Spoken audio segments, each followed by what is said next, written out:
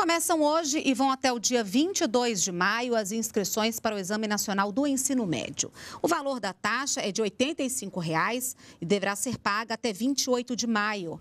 Quem optar pelo Enem impresso na hora da inscrição não poderá mudar para a versão digital que é uma das novidades neste ano. Lembrando que a taxa de inscrição não é cobrada do aluno que fez todo o ensino médio na rede pública ou faz parte de família com renda mensal de até três salários mínimos, incluída no cadastro único para programas sociais. E as comunidades surda e com deficiência auditiva podem acessar o edital do Enem 2020, traduzido para a língua brasileira de sinais. O INEP disponibilizou no canal do YouTube todo o conteúdo do edital do Enem impresso.